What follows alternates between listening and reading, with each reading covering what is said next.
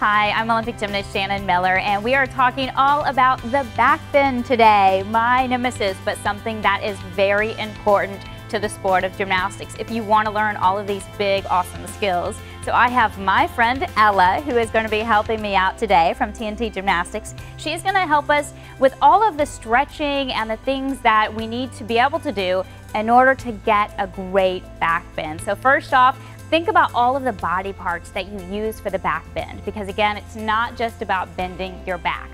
Wrists, so we're gonna go ahead and stretch our wrists out first. Make sure that you're always doing this first. And then we're gonna move into the seal position. This is gonna begin to stretch your back.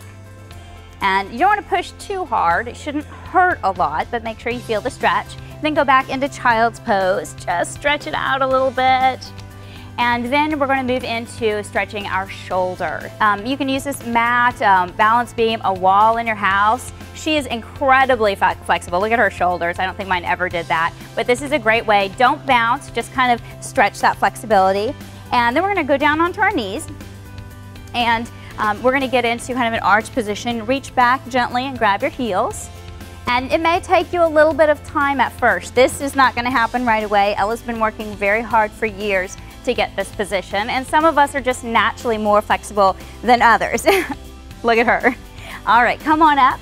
And now we're gonna go ahead and go into the actual back bend. Now, um, you can do this from a standing position if, if you're um, ready to go with uh, going all the way back. If you're not quite ready to do that yet, use a wall right here and you can reach back to the wall and kind of climb your hands down and that's something that you can do at home.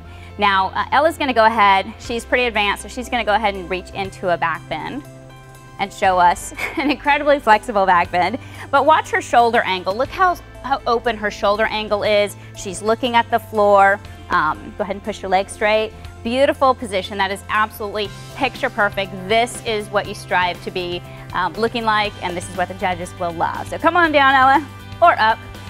Thank you so much for joining us today and helping us out uh, with the back bend. And I hope that you guys all learned something and make sure to subscribe to my YouTube channel to make sure that you get all kinds of great videos on how to do gymnastics. Thanks so much for tuning in. For more gymnastics how-to on my YouTube channel, make sure to hit subscribe. And of course, if you want to keep up with all things Shannon Miller, make sure to follow me on social media.